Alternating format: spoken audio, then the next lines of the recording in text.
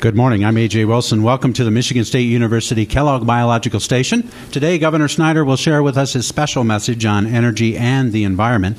And we also have three other sites joining us via Google Hangout at NextEnergy in Detroit, the Michigan Land uh, Use Institute in Traverse City, and finally, the Michigan Alternative and Renewable Energy Center at Grand Valley State University. Now, live from Michigan State University, Vice President for Finance and Operations, Dr. Fred Poston.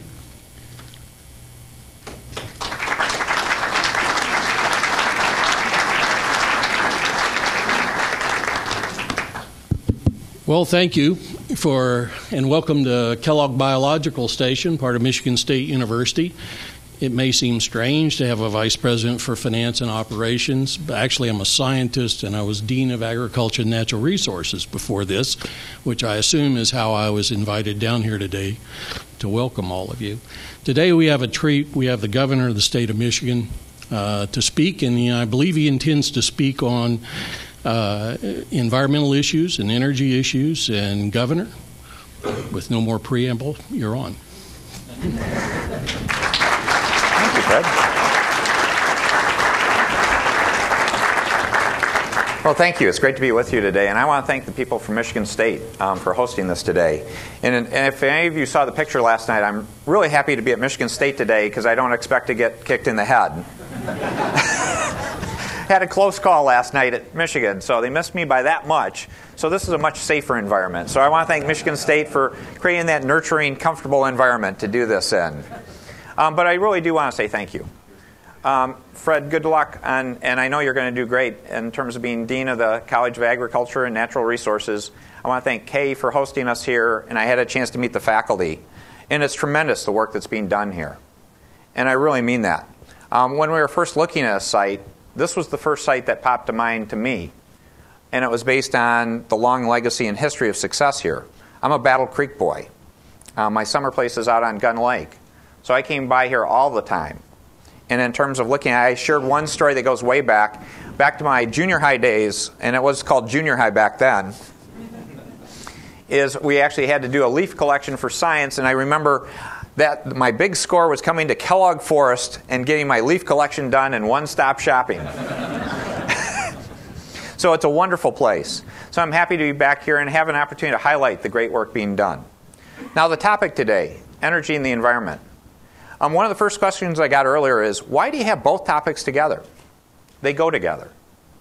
There's not two separate worlds. There's not a world of just environment, nor a world of energy or economics. It's a symbiotic relationship, and they tie together.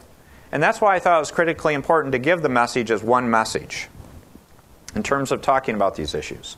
Now, I'm going to talk about them separately, but as I go through it, you'll see I'll stop and talk about some subset that kind of crosses over. It could have been in either part of the message because of the nature of what's involved. And I hope we keep that as an open mind to say there are not separate silos, there's a symbiotic world that we need to win together and be responsible together on.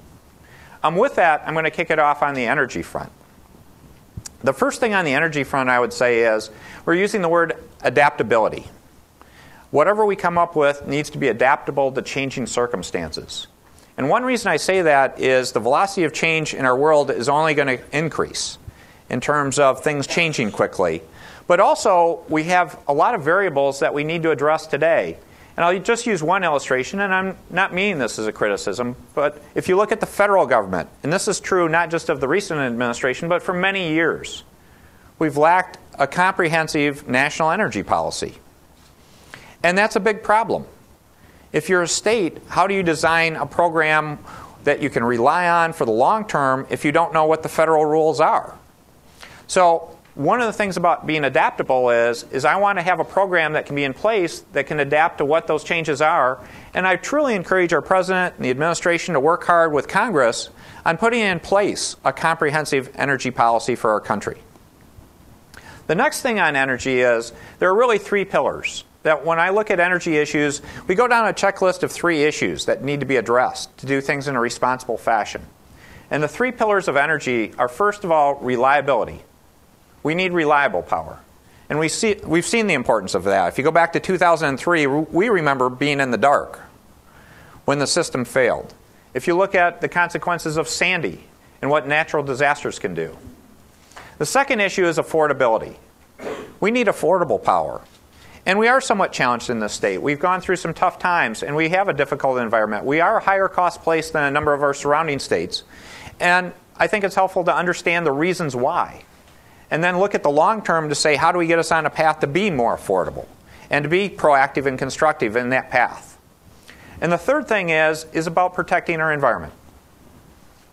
We need to think about that in terms of how we look at our energy choices, about what is best for our environment, and be responsible there.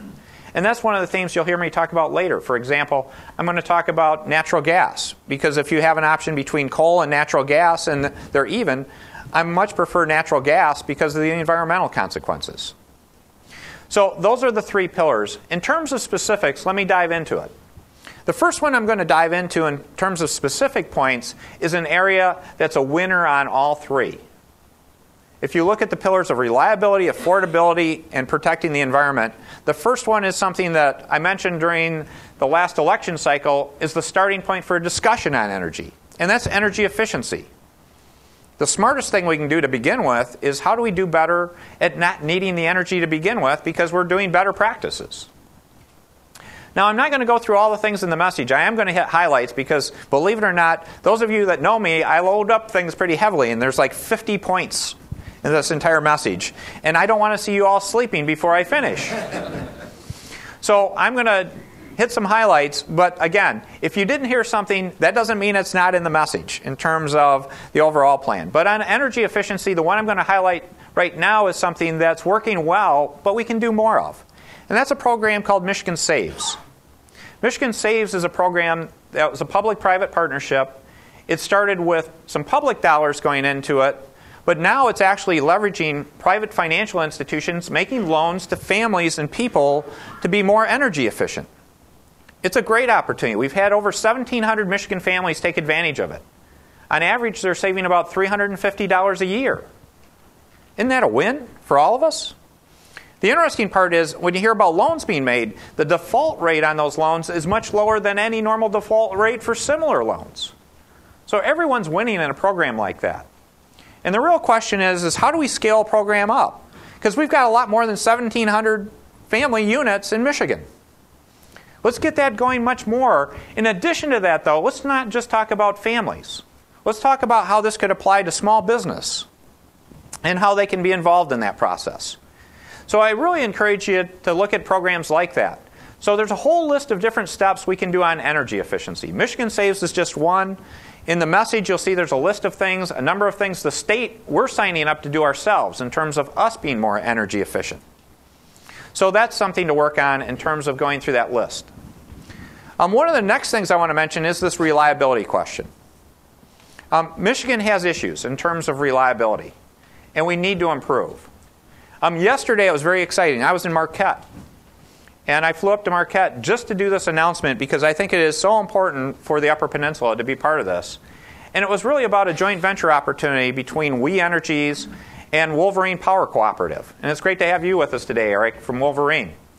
That Wolverine made an investment in We Energies power plant up there to do the future environmental changes they need to make. And in exchange, they all win because they're going to be a sustainable source of power that's more energy efficient and environmentally thoughtful up in the Upper Peninsula.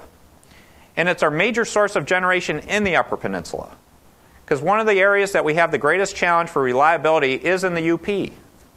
We have about 16 yellow alerts a year, which basically means there's a power challenge in that geography. And that is not good for business, nor our citizens. We need to see that go away. And the cornerstone of that strategy is to have that power plant keep going and be successful. So I want to thank We Energy and Wolverine for working together to be innovative and do something really great. But the other part is, is we need better transmission in the Upper Peninsula.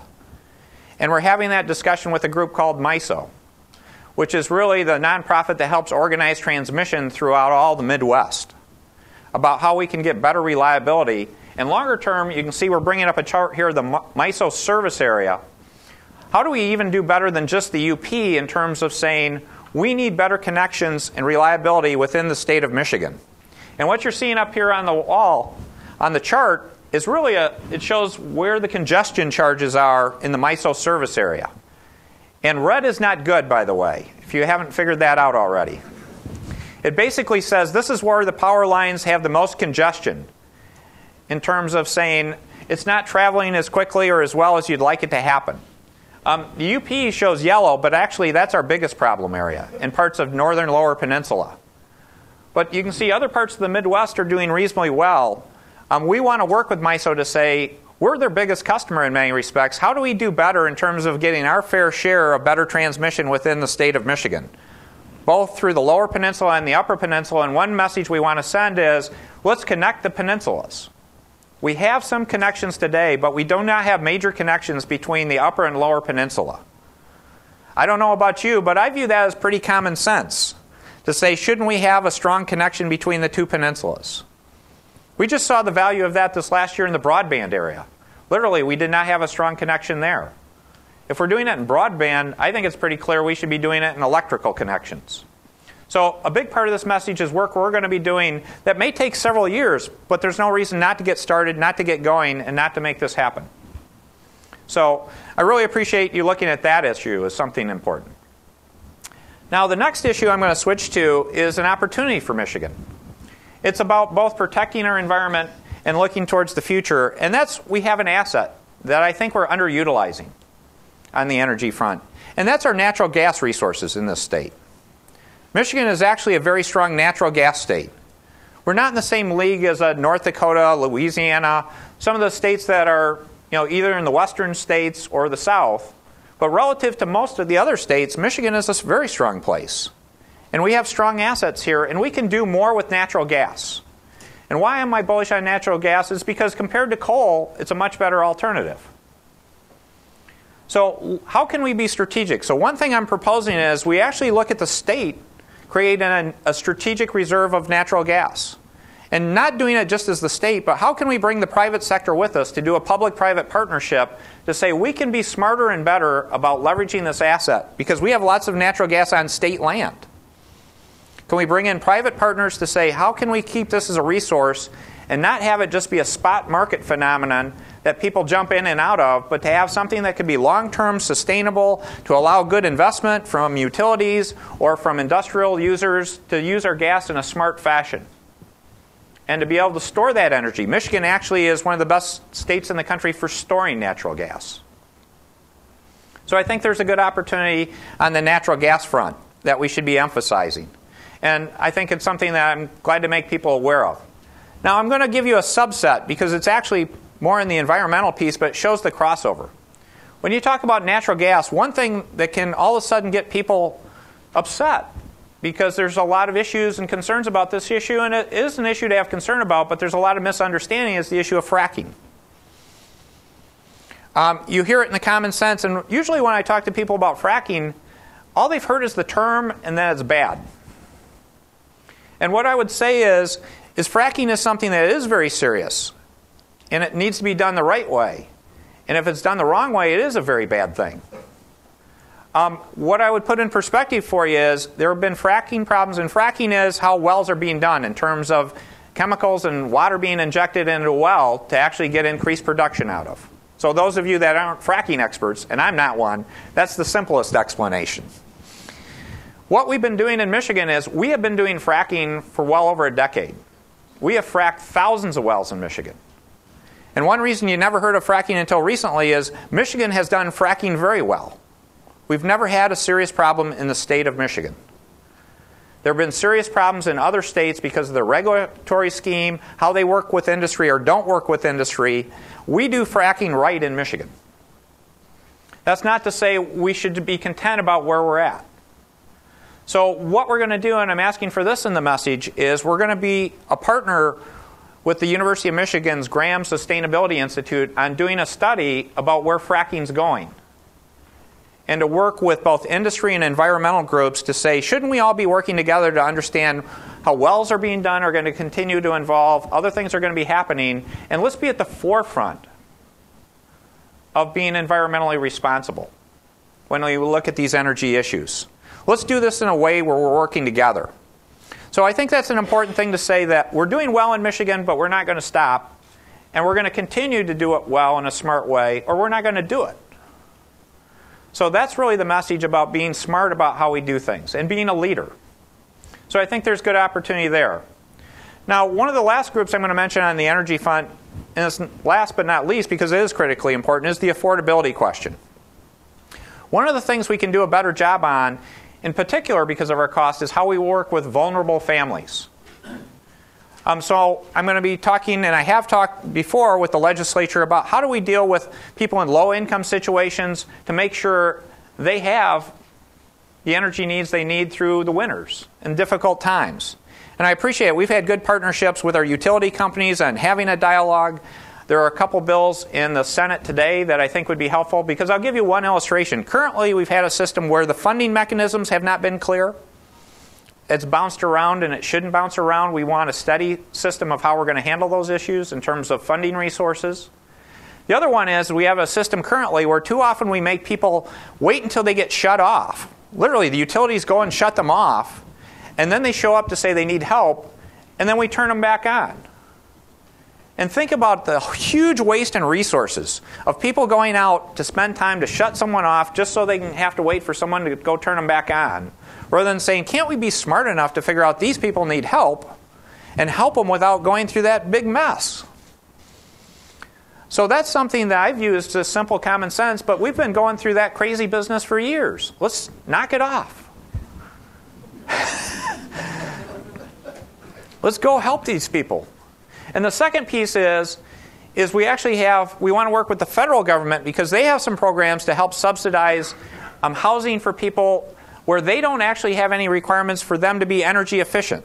So a landlord can be subsidized and actually do nothing to help energy efficiency, do nothing to do anything good.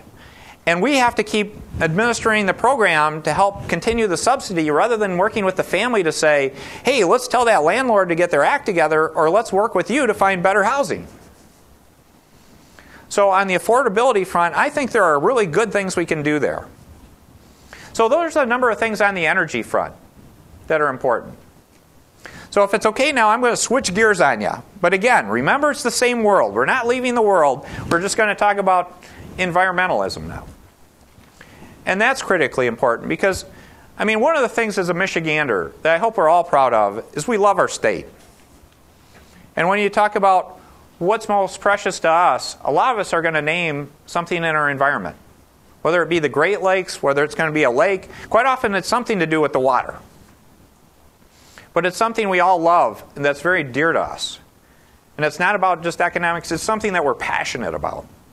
So I think it's critically important we talk about our environment. Now, on the environmental side, I'm going to really focus in on land and then water. First of all, on the land side, it's about time we get strategic. It's amazing that if you look at it, and I'm using state lands as an illustration, we own over 4 million acres. When I say we, we all do. You as citizens are part of the state of Michigan, and we own about 10% of the land of the state of Michigan. Now, how did we get that land? It goes through a long history, but as a practical matter, we don't know the reason why we own a good chunk of the land we own. We know the most famous places, the pristine places, but a lot of it was collected going back 100 years. Um, and we really don't have a very strategic outlet on why we have it, what we're doing with it, and where it's going to go in the future, and how do we make sure we're the best stewards of it. We do a pretty good job, but it's time to step back and say, let's come up with a strategic plan for public lands in the state of Michigan. We got a good start, and I want to compliment the people. We had a blue ribbon panel on state parks and outdoor recreation, and they did some really good work. And I appreciate their work, and we're going to leverage off of that, but we need to go farther than that. So, with the blue ribbon panel, a couple things I will mention is one area they talked about were trails. Um, one of the great opportunities we have in Michigan, and we'll bring up the, the trail map, is when we started doing the analysis, we figured out we don't know how many trails we have. I actually asked that question. What we do know is we probably have as many or more trails than almost any other place in the country. But could I tell you the number of miles of trails or what they're actually about? No, not really. We did highlight a few. And you probably can't see it real well, but one of the marketing messages that would be really cool is we did one in red to show we're within 200 miles of having a trail that would go from Belle Isle and Detroit to the Wisconsin border. That would be pretty cool. Now, I'm not going to answer the question about what do you do when you get to the Mackinac Bridge. You're on your own for those five miles. but there's a great opportunity there for outdoor recreation. But you can see the trails in blue. And some of those trails go for several hundred miles that already exist. But let's look at our trails and how we can use this as a great asset and really leverage it in a positive way. But then to continue on to say for state forest lands, other state lands, um, we'll ask the federal government to participate. Um, how can we use and partner together in coming up with a real strategy? And I'm giving that charge to essentially the Department of Natural Resources. And I know we have Keith is up in Traverse City today, Keith Creagh. So he can work on that project. But the goal is to have a report coming back by next springtime, at least on a framework of what we should be looking at for state public lands. So I think it's a great opportunity. Um, then you just keep going in terms of some of the environmental issues. Um, in terms of land use, one area that's really important too, and I'm going to switch from vast forest lands to our urban areas. We need to do a better job with our urban areas. Um, we have a challenge on blight in terms of where there are structures that should be torn down. In many cases, a lot of these will revert to a city, a county, the state through tax reversions. And we don't do a good job of managing that whole process. We don't do a good job of figuring out what to do with those parcels to aggregate them in some thoughtful, responsible fashion. And we're going to be focusing on that. I've been talking about that already. I have mentioned that in the public safety message I gave. But I'm not going to give up on this issue. There's a much better way to be responsible with public lands that are in urban areas in terms of aggregating, working together as a team to say what's a good long term use. Also, as part of that, we need to be a better neighbor in terms of the public sector. Quite often, we'll end up with these lands, and we may not be doing the mowing, the maintenance, the way we should be doing. And to the degree we have these properties, we need to be more responsible in terms of going through that system. I also want to be more aggressive with respect to people that misuse lands. Because quite often today we'll have people buy properties at auction that their only goal is is to say can they do something short term with it to make some quick money? Otherwise they just let it revert again because it's cheaper for them to come back and buy it at auction again than to even pay the property taxes. And that's not right so one thing i mentioned before that i'm going to continue to mention is if someone has a bad track record of not paying their property taxes of not maintaining properties i don't believe they should be eligible to participate in the auctions Let's just get that off the table in terms of working through that. Other pieces of urban issues is it's time for us to finally get the right to farm issues sorted out for urban areas. Our agricultural community, our ag lands are critically important. Right to farm is critically important. I'm a big supporter of that. But with respect to our urban areas, we've had this dialogue going on for multiple years now about urban farming. And all I've seen in my two years as governor is there's been a lot of discussion about right to farm and urban farming. If you know me well enough, I don't like to pe- see people talk too long. We've passed that point. There is too much talk and not enough action. So we really need to get focused in on getting something done on that issue in terms of moving ahead. So, in terms of land management, there's a big opportunity there. So, just in terms of some exciting things I would mention on this front, is we've got the whole issue of public lands, we've got the whole issue of trails and recreational opportunities that we can leverage better. The Blue Ribbon Report is good stuff. Urban areas, excellent opportunities in terms of doing better work there. Now, let me shift to water. Again, something near and dear to our hearts. And I should have mentioned it earlier, but I'll, let me do the same thing that I did with the energy side. What's the framework for decision making? Is it's an ecosystem approach, which is basically something that is about taking science, and economics and environmental practice and merging them together and doing them in a thoughtful way. So when we talk about water or land, let's do an ecosystem approach, not simply the old fashioned way of saying there's one place or another place. There's a system.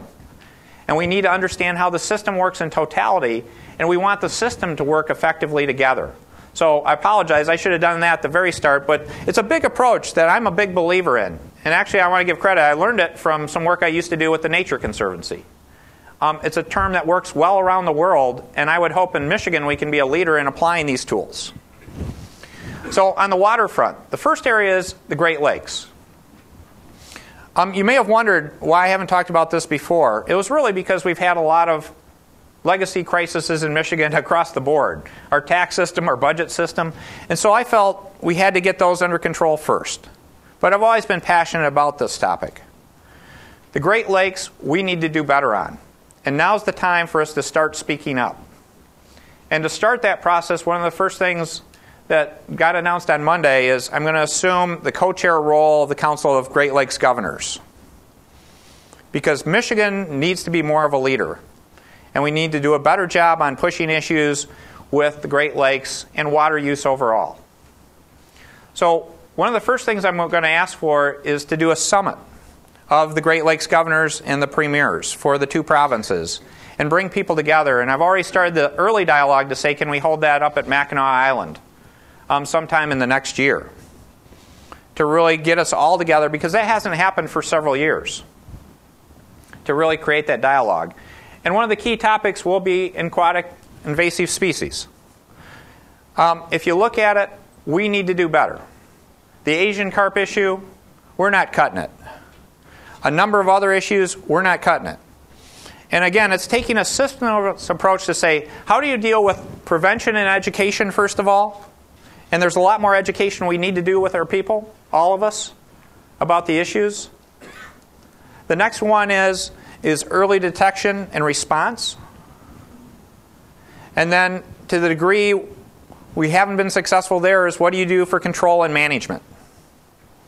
and set up a very systematic way to say for each one of these aquatics invasives, how do we address it? And to give you some idea, the identified number that I've been seeing is about 180 already.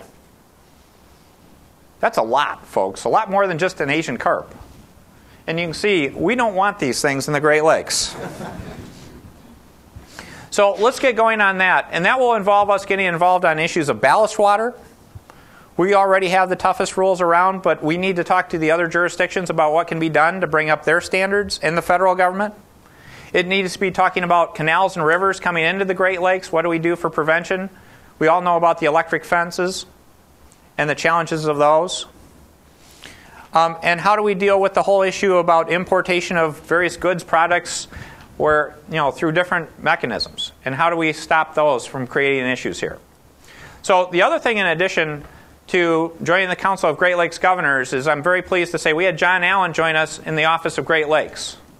And I want to thank Consumers Energy for contributing, John, because we wanted to put more resources involved in this. So we're going to be working flat out and hard on the Great Lakes as an issue, particularly with aquatic invasives, but the whole issue of water use, water control, long term opportunities, including good things like even tourism.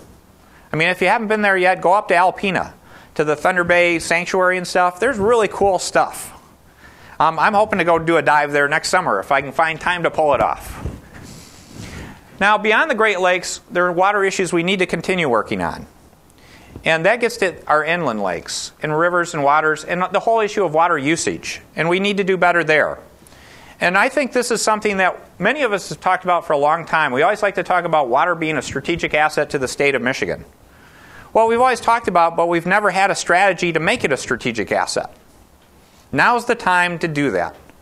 If you think about it, think about what happened this last year with the drought conditions across the Midwest in our country.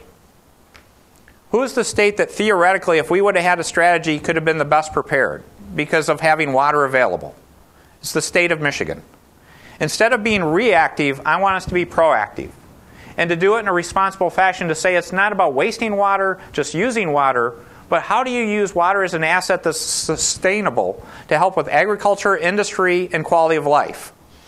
So, one of the things we're going to talk about is having the DEQ reestablish a water use advisory council.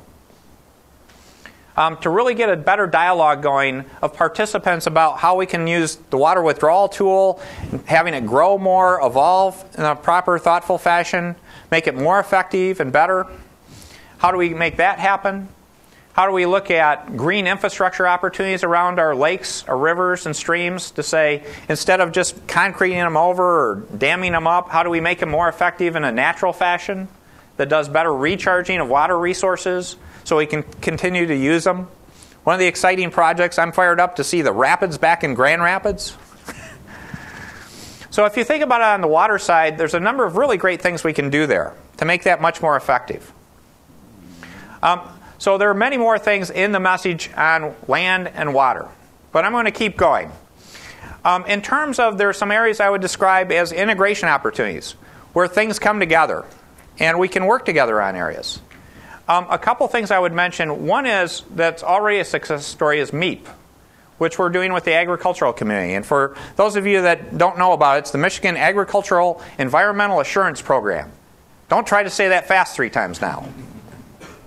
But it's a great program we did with the farm community, the environmental community, all to come together to say, how can farms get certified? And it's a voluntary program to get certified to say they're doing best practice. And they're doing things effectively. And we want to acknowledge and be proud of anyone that's gotten certified and highlight their certified place to be MEEP certified. We have a similar program to help with environmental quality issues called RETAP that the Department of Environmental Quality runs that uses retired engineers. It's really retired engineers giving technical assistance program. So we want to up leverage that program. So if you're looking at how to be more green, how to be more energy efficient, we have resources and tools to help look at those kind of items, and we should be optimizing those more. Um, a couple other items is on the recycling front. I think it's time that we make a review of how we can improve recycling in Michigan. We don't do the uh, job as well as we should. One of the things that stood out to me in terms of um, ease of recycling, we did an analysis of how many counties have programs to make it easy in some fashion within their county, and we only found 21 of the 83 counties having the kind of recycling programs, even in some subset of their county, that we'd like to see. So there's a great opportunity there. So if you go down this list, there's a lot of good things that we can do that sort of integrate these issues um, in a thoughtful, effective way. Um, also, I'll go back to one subject matter on the big picture of energy and the environment because it was a, one of the ballot question issues was proposal 3 and i wanted to mention to people i talk about it in the message that we do need to set new goals as we approach 2015 but let's set them together. And let's set them as michiganders working together as a team. Because my belief is we need to increase the goals but let's spend the next year, let's spend 2013 having an open dialogue with all the participants, understanding where we're at, how well we've done, and we've done well on some of these things. We're actually doing better on energy efficiency than even the goal we had set from most reports I'm getting. So it's a good time for us to re up to say, let's celebrate some of our successes, let's set some new goals for beyond 2015. But let's do it together and let's do it in a thoughtful way and do it through the legislative process the way we should. So I'm very much a supporter of that. I believe industry is a supporter of that. I believe we're all on the same page. But let's kick off that process. And let's take 2013 as a year where we can have an open dialogue. So, actually, in the message, you'll see there's a timetable um, to actually say we're going to start holding meetings, we're going to start that process to make that happen. Because that's all good stuff. So, I'm going to sort of wrap up here because I want to get to your questions. But hopefully, you can see if you step back from all this, and look at the energy and the environment. Now is the time to be more proactive. We don't have all our tax issues done, all our budget issues done, all our other challenges figured out, but we've made tremendous progress. Michigan was and is the comeback state, and we're getting our act together. And now it's time for us to step up on some things that are critically important, and these are two topics that tie together that we can really be proactive on and instead of sort of saying we own a bunch of land, instead of saying we have a whole bunch of natural gas in our state, let's talk about how we can have a long term strategy that makes a difference for us and for our kids. And understand that if we make decisions today, we're affecting what's going to happen to them in 20 years. And be responsible. And do this in a strategic fashion so we can win together, short term and long term and understand in energy, affordability, reliability, and protecting the environment. In the environmental side, an ecosystem approach that says it's about sound science and good economics partnering together to do smart decision making. Let's make all this happen. There's no better time to do it. There's an urgency and need to make it happen. I'm fired up to get it done. And part of this message is I hope you are too. So let's all speak up and say, it's time to move this much higher on the agenda list. Let's move forward and let's get it done. So thank you for coming today and thank you for all these sites and let's do some questions.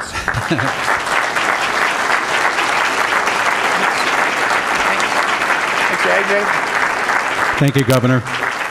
Governor, our first question comes from Jennifer, and she's uh, here in our live uh, audience uh, from Hickory Corners. Jennifer, could you raise your hand so we can where are you're sitting? Hi, Jennifer. Uh, she asked, "Do you have plans to expand programs that help support water quality and natural resource conservation on private working lands?" Yeah, I would say so. If you look at, I think MEEP is a good illustration of that, about how we do a better job there um, because that involves farmers doing best practice for any kind of resources they have on their land, but we could expand that beyond farms. I don't see why we couldn't do that potentially with industrial sites, commercial sites. Again, broaden it out in terms of I love programs where it's a voluntary program where people sign up to say they're doing really good stuff and we can celebrate success. So I would actually encourage that in terms of working through something like that. Also, one area I didn't go through that, I, that might tie into some of the things that could be a concern given your question is there's a fair amount on wetlands in there that we're actually going to work hard on improving how we handle wetlands in Michigan, including coming up with better systems to actually do banks and exchanges of potential wetlands properties, to do that in a much more strategic fashion instead of simply saying one acre here ends up someplace on that same parcel rather than saying there's a better answer to help the whole community or the broader state by doing wetlands in a smarter way. Thank you, Governor. We're going to go now to Detroit and the NextEnergy location uh, via Google Hangout. Go ahead, Detroit. Hi, Governor. Thanks for this. This is Jim Newman from Newman Consulting Group. And most of the people in the audience probably are aware that buildings use approximately 40% of the total energy and 70% of the electricity in the United States, which is really more than any other sector, including transportation. You've mentioned energy efficiency here and talked about what we're doing, what we in Michigan are doing on residential, and we have many agencies such as Michigan Saves, MEDC, DEGC, and many others. But since approximately 70% of the buildings standing today will still be here in 30 years, has any thought been given to ways for the state to make it easier to conserve energy in existing commercial buildings, similar to the American Recovery and Reinvestment Act of 2009, Energy Policy Act of 2005, and some of the other federal programs that have come and gone. Yeah, in terms of your question, I appreciate it. It's great to have people from NextEnergy there, and I'm glad to have all the remote sites. It's great to see the better marketing these days. If you look at, they're good at showing off NextEnergy, aren't they? and they should. They should be proud of that. It's a great place is in terms of doing that, what I would say is that gets back to my point about the lack of federal energy policy. Because if you look at some of those were huge kind of public works kind of projects, and we're not in a position to do that. And what I would say is I would rather partner with the federal government on thoughtful policies and practices to say if they're going to do it, let's not get into winners and losers as much as coming up with a broader based approach that really encourages people to make those improvements on a broad basis. Um, programs that we are going to stay focused in on are how can we do public private partnerships? So it's just not the state, but we're bringing the private sector. That's why I like Michigan Save so much. Because it's private financial institutions making loans that are good loans, that are making good returns to them, that are good deals for everybody, and everybody wins. So, what I would say, it's not going to be about government state government spending lots of money on programs, but how we can be a coordinator, a facilitator to make good programs happen. Because you're right, if the more we can do to retrofit buildings, to do more brownfield work, brownfields are in the message, we can do a better job. Governor, thanks. We're going to go now to Traverse City, the Michigan Land Use Institute. Traverse City, go ahead with your question for the governor. Hi, thank you very much, and thank you, Governor Snyder, for your uh, excellent event today. We're certainly enjoying it here in Traverse City. My name is Jim Dulzo. I'm the Energy Policy Specialist for the Michigan Land Use Institute. And you were up here in, in March and saw what we're doing with the Traverse City SAVES program with the local utility, with some local nonprofits uh, with Michigan Saves and Better Buildings. And uh, you already said how cheap energy efficiency can be in terms of uh, uh helping meet energy demand. It's so much cheaper than new generation. My question is twofold. Uh, given the uh, well workings of energy efficiency. What are you willing to do working with uh, advocates like us, lawmakers, utilities, and industry to stop attempts that are going on right now in our legislature to roll back our existing optimization standard, our existing RPS standard? Um, we're quite concerned about that. And um, given that efficiency really does literally pay for itself, create good jobs, and other states like Vermont and California are doing 2% energy optimization a year and succeeding with it, is there any reason for us not to set a truly bold goal, one that will make Michigan a global leader in home, business, government, and industri- industrial uh, efficiency within a decade? Jim, I can see why you're the specialist in this field. as soon as you said that and I saw you, I knew this would be a good, tough question. but I also want to compliment your organization because, as you mentioned, I was w- going to wait to mention it when you popped up on the screen.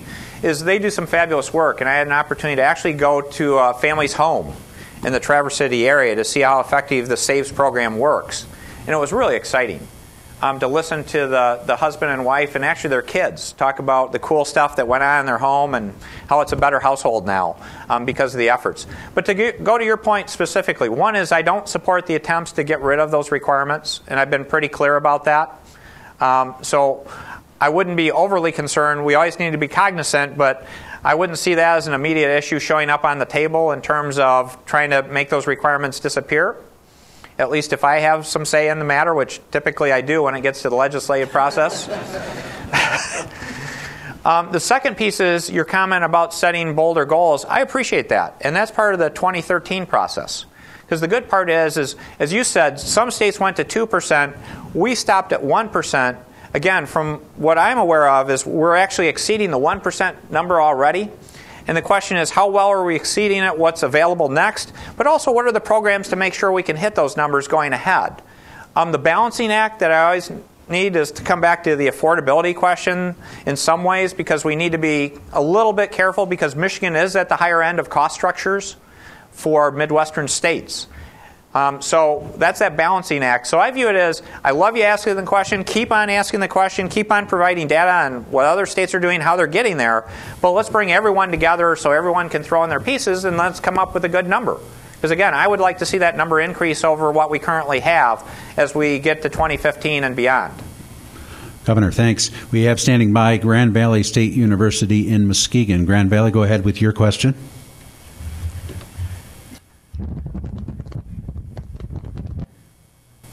Uh, good morning, Governor. Uh, this is Arnold Boezaart, uh, Director of the Michigan Alternative and Renewable Energy Center in Muskegon, Michigan, downtown. Um, we have a question for you from the west side of the state. Uh, our question is With the already announced and expected retirement of coal fired generation plants by the major utilities by 2015, what type of energy generation capability would you like to see built in their place? And how does this issue relate to your plans for the energy dialogues that you have just announced for 2013? Well, they tie right together, and I, that's a great question because as retirements come on, that's the cost effective time to have a dialogue about what those replacements can be. And that's one of the issues where the dialogue about what's the renewable portfolio percentage can be relevant. It's also if you ask the utility people in the state, they can tell you I've already probably driven them somewhat nuts about natural gas versus coal. Um, because those are kind of the questions that I like to bring up to say as retirements go on, because then you get the environment to say it's not about having a continuing cost to make our costs go even higher. If it's actually really being retired, so it's coming out of the rate structure and not creating affordability issues, that's the best time for us to look at replacements that are better for affordability, reliability, and protecting the environment. And we should have all three of those issues on the table. And again, I think our utilities are doing a good job. They're being thoughtful about raising the questions, but again, the more we can have the public dialogue, the more we get away from potential misunderstandings where people have an assumption that people are doing one thing or another thing. Let's talk. And let's just get the cards on the table. And as we reset these goals, let's say one of our goals is long term, there should be more renewables. I think everyone should know that's pretty common sense. Long term, hopefully there's less coal. But will there be coal? Then you can have a discussion of what part of that portfolio that is, or how that compares to other choices and at what price. Um, but these are the kind of dialogues and questions about building out this portfolio in a thoughtful way. So, again, that's what 2013 is. Line up your questions, get your thoughts, and get to the table and let's hash through it. Governor, our next question comes from our audience here. Uh, Bill from Hesperia. Can you raise your hand, Bill? And Bill's question is Assuming the legislative passes the severance tax on non ferrous metals, how do you envision using the money for rural development? Um, great topic. Um, that's in the message we talk about um, our extractive industries. That we have two big industry areas that could be are very exciting. Timber is very exciting, and actually, I'm calling for a timber summit next year. Um, we've created a timber advisory council. We actually have state resources focusing on now as timber is an industry in our state. It employs over 20,000 people in our state. Um, mining is also an opportunity, but again, we need to be environmentally responsible on that. We're talking about replacing the old ad valorem property tax system, the traditional property tax system, which is actually dumb for an extractive industry.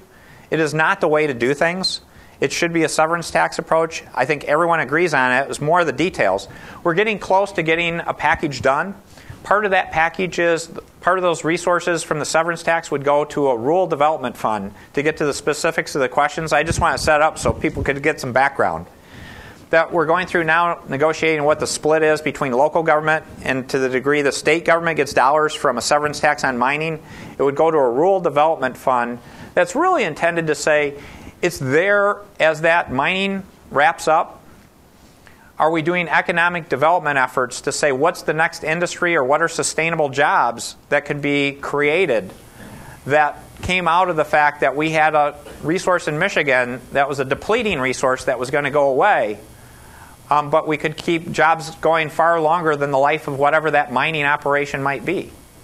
And so the real focus of that, it, it's not specific to one area, but one of the goals I want it to have is to say how can it be part of that dialogue to say how do we keep jobs going in that geography or that place after it's done because, again, we don't want to see the mine closed, people all of a sudden out of work, and there's nothing there.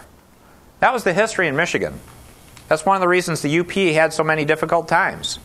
Mining was a huge success. When the mining was done, too often the people that owned the mine just walked out and left people unemployed with not much anything. That happened in our timber industry in the state, too, by the way. Um, and that still shows up in some places across our state if you talk to people on their heritage and history. So let's get smarter, and that was part of the idea. Severance tax, not just to replace local services, but have some pot of resources to use for long term economic development. Governor, uh, Detroit standing by again with a question from NextEnergy in Detroit. Go ahead. Governor Snyder, I'm Patrick Gay with Relume Technologies. We're an outdoor LED lighting manufacturer in in Oxford, Michigan. And hearing what you said today, I'm, I'm wondering how you're going to uh, incentivize the, the usage of Michigan-based manufacturing companies in your efforts to increase the uh, energy efficiency. Yeah, it's really a lot of it is again clearinghouse coordination. It's not going to be through big tax credits. Because uh, again, if you know me, I don't believe in picking winners and losers with big tax credit deals because I think we're paying a big price for that today in terms of how we're having economic challenges. What I would say, though, is a lot of it is getting people to understand in the LED case is if you do the longer term analysis, if you do more than a one year analysis, you can actually show how it saves money. It's actually a big benefit. And you just need to have a good system to determine how many years is that payback and does it really make sense and at what scale over what time period. So, this is something I want to get the public sector out of this trap of just saying it's cash in, cash out, one year budget cycles and to encourage longer term thinking about what's the best answer. And so that's the analysis we're going to be doing more and more at the state to the degree we're a participant in helping support that, because I know you've done some great projects already. Um, and it's really a case of asking industry to come to the table, commercial parties, and helping families understand. Because in many cases, if you looked at Michigan Saves, it actually costs more money to begin with day one, but then they save money year after year and they get a good payback. So I view this as getting people educated on good economics, not necessarily the government giving out big incentives to people. Governor, can we have some final thoughts? Yeah, I appreciate it. Hopefully, it's been worthwhile, and I want to thank all our remote sites. It's great to have NextEnergy, um, the Michigan Advanced Research Center on Energy, and um, the Land Use Institute to be part of this. It's great to have you participate in this process. I want to thank everyone for being at this special place, and I hopefully this is a good commercial for you to come back and visit and learn more about this special place.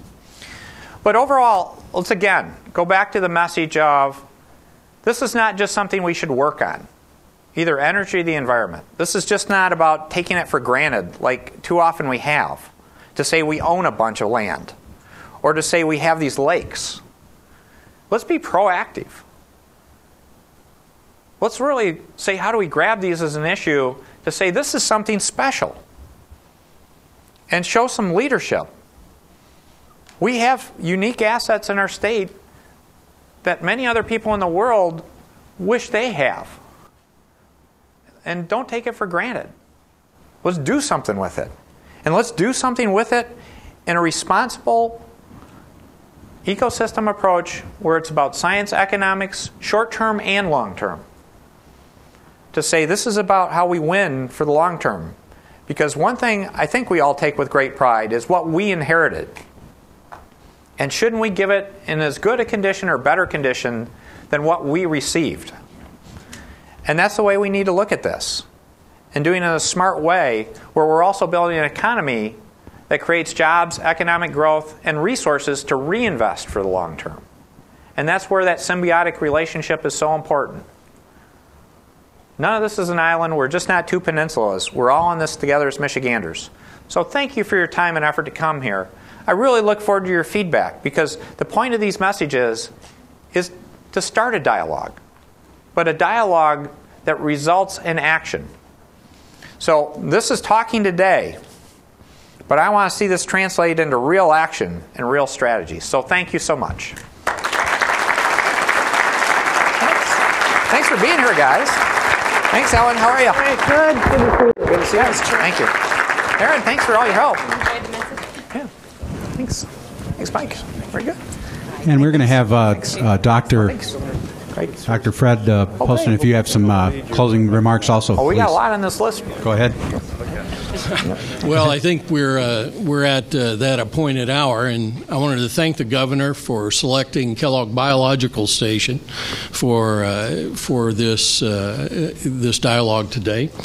It's a premier environmental research site, and um, I, I heard about his leaf collection earlier. I wondered what the tie was. So I hope you got a good. I still have it. Okay. I'm a good nerd. I hope you got I hope you got a good grade on it. That's the main thing.